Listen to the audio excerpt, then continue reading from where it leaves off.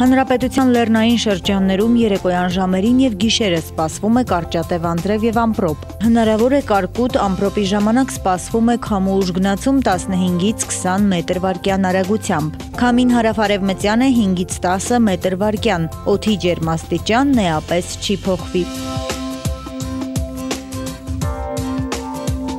Շիրակում գիշերը սպասվում է 5, ցերեկը 20 աստիճան տաքություն, Երևանում գիշերը 12, ցերեկը 28 աստիճան տաքություն։